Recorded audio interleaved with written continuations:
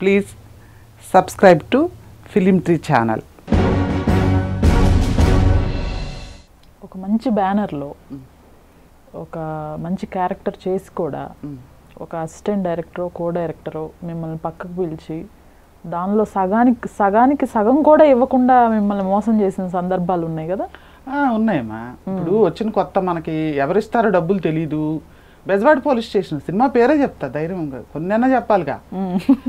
అది చేసాము వచ్చాము వస్తే పక్కకు పిలిచి గో ఇటు రండి ఇటు రండి అంటున్నాడు. ఏంటిది అని మనం పక్కకి వెళ్తే మూడు వందల రూపాయలు చేతిలో పెట్టాడు. ఇదేంటండి అని అంటే "ఆ, అదే అంతేనమ్మా అదమ్మా ఇదమ్మా నాకు తర్వాత అర్థమైంది. బాధపడ్డాం. తర్వాత ఎవరో మేకప్ మ్యాన్ పాపం ఆయన వచ్చి "నీకు ఇబ్బందిగా ఉంటే తీసుకోమ్మా ఏడవకు. ఏమంటా.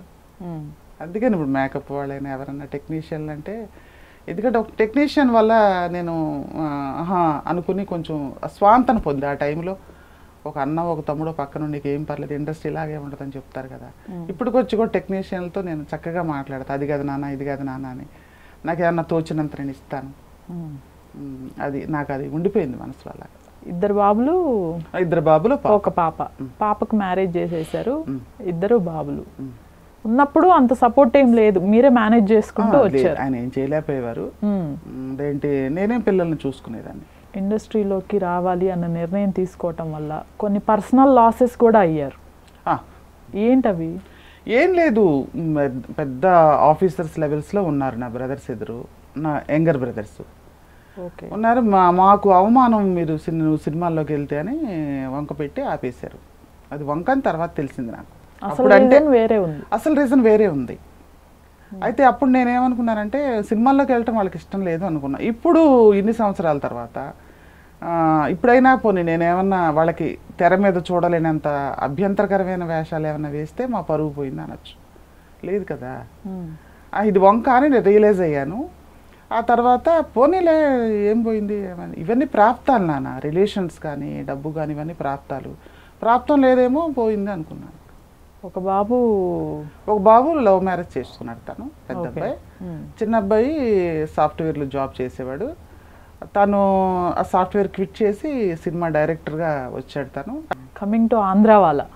అదొక మంచి సినిమా అని చెప్పొచ్చు. ఆ స్లాంగ్ కానివ్వండి ఎన్టీఆర్ గారి కాంబినేషన్ పూరి జగన్నాథ్ గారి డైరెక్షన్. ఎవరి ద్వారా వెళ్ళారు అసలు?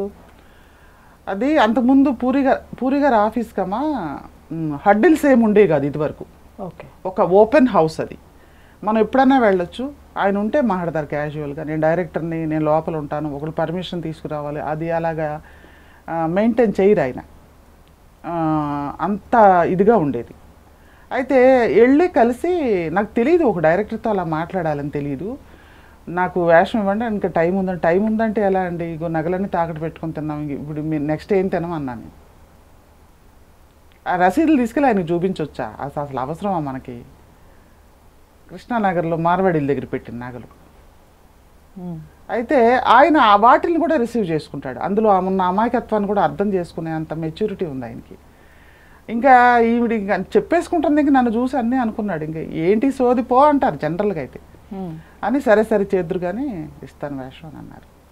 అన్నారు ముందు అమ్మా నాన్న తమిళమ్మాయి అనుకుంటామా? ముందు వచ్చింది అదే ముందు వచ్చింది అందులో ఇచ్చారు వేషం.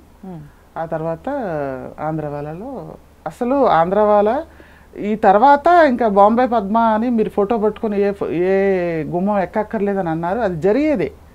హిట్ అయితే. కానీ ఆంధ్ర వాళ్ళలో అప్పుడే ఎన్టీఆర్ గారికి ఒక ఆది అయిపోయింది. అప్పుడప్పుడే ఎదుగుతున్న స్టార్. ఆది రిలీజ్ రోజు ఆంధ్ర వాళ్ళ షూటింగ్ స్టార్ట్ అయిందమ్మా ఫస్ట్ జైల్లో సీను. జైలు జైల్లో పెట్టేస్తారు అతన్ని. మేము బయట ఉంటాము. మా మా మున్నాను ఏం చేసావనా అని అడిగే సీను. అప్పుడు ఏంటి ఆది రిలీజ్ అయింది. ఆ హిట్ గురించి మంచి టెన్షన్లో ఉన్నాడు ఆ కుర్రాడు. ఆగండి ఆగండి ముందు ఫస్ట్ తెలుసుకుందాం. ఇట్లా ఇంత టెన్షన్లో ఉన్నాడు తను. ఆ మూమెంట్లో ఫస్ట్ డే షూట్ జరిగింది. జరిగితే ఏదో ఇచ్చారు డైలాగ్ ఇచ్చారు. ఇస్తే మా మున్నాన్న ఏం చేశారా అన్నది డైలాగ్ చెప్పమంటే నేను గట్టిగా చెప్పా. చెప్తే రమాప్రభు గారు అన్నారు షర్ట్ అదేంటి షార్ట్ కట్ అయిన తర్వాత అంత అరవక్కర్లా డబ్బింగ్లో చెప్పచ్చు అన్నారు. అంటే అంటే నాజర్ గారు ఉన్నారు అక్కడే. కూర్చుంటాం అన్నమాట బయట చేస్తాను ఆయన అన్నారు నెమ్మదిగా మాట్లాడినా మిమ్మల్ని గుర్తుపడతారండి ఆ అమ్మాయిని గుర్తుపట్టాలని అరుస్తుంది అన్నాడు వేణుమాధవ్ గారిని కూడా తిట్టేశారంట? తిట్టలేదురా నేను. ఇప్పుడు ఎన్టీఆర్ కూర్చున్నారు అక్కడ. ఆయనకి అప్పుడు అంత పెద్ద హీరో అవ్వకపోయినా పెద్ద ఎన్టీఆర్ గారి మనవడుగా ఆయన ఒక వెలుగు ఉంది కదా. అప్పటికే ఒక సింహాసనం మీద ఉన్నట్టే కదా ఆయన. అవును. ఆయన దగ్గర తీసుకెళ్ళినప్పుడు అంతకుముందు వేణుమాధవ్ నేను సినిమా చేసాం అక్క తమ్ముళ్ళుగా. కొంచెం పరిచయం ఉంది మా ఇద్దరికి.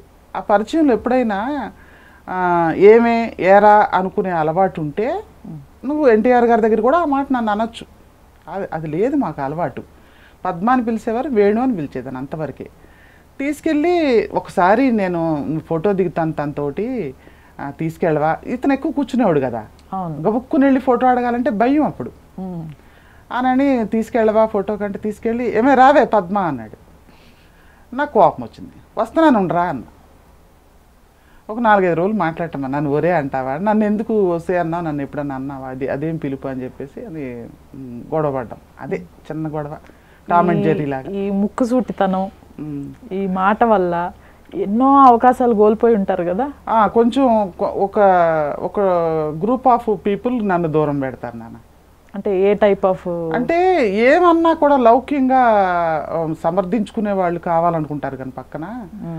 పోనా గొప్పతనాన్ని ఆయన ఆయన అనుభవిస్తునిస్తే కాస్త నోరు మూసుకుంటే పోయేది కదా. ఆ, ఇలాంటి. ఇది ఇదే విషయం బ్రహ్మానందం గారితో కూడా. ఆల్మోస్ట్ వాళ్ళు ఏదో అంటుంటారు ఇప్పుడు అదే మాట ఏ బొంబాయి అనే మాట చలపతిరావు గారు కూడా అన్నారు. ఆయన ఆయన అంటేనేమో రోజు కేబీఆర్లో వాకింగ్కి వెళ్తుంటాం కనుక కొద్ది పరిచయం ఉంది కనుక "ఉమ్, ఇదేంటి నవ్వేసి ఊరుకుంటాం. పరిచయం లేని వాళ్ళు కూడా బొంబాయి అంటే సార్ నేను ఇంతకుముందు మేము తెలుసా? ఏ నాకు పేరు లేదా? అంటాం. అన్నారా? అన్నాను మరి అనకూడదు కదా. పెద్దోళ్ళు కదమ్మా వాళ్ళు ఓకే. వాళ్ళు వాళ్ళు ఎంత పెద్ద స్థాయిలో ఉన్నారు అనేది నాకు నిజంగా అప్పటికి తెలియదు ఇక్కడ స్థాయిలు అనేది ఏ రకంగా నిర్ణయించబడతాయి? బ్రేక్ వస్తే అది స్థాయి గుర్తుపట్టకపోతే కాదు అది స్థాయి లేదు అనేది నాకు తెలియదు అప్పటికి. ఓకే. వాళ్ళు మనుషులే మనము మనుషులు వాళ్ళకి పెద్ద రెమ్యునరేషన్ ఉంటుంది. ఒక కరెక్ట్గా చెప్పాలంటే పొలంలో కూలీకి వచ్చాం పెద్ద కూలీ చిన్న కూలీ. మమ్మల్ని ఎందుకు అనాలి? అనుకునేదాన్ని. అది రాంగ్. అది ఎదగాలనుకునే వాళ్ళు దయచేసి ప్రేక్షకులు కూడా చెప్పేది ఏంటంటే ఎదగాలనుకునే వాళ్ళు అంత అలా మాట్లాడకండి.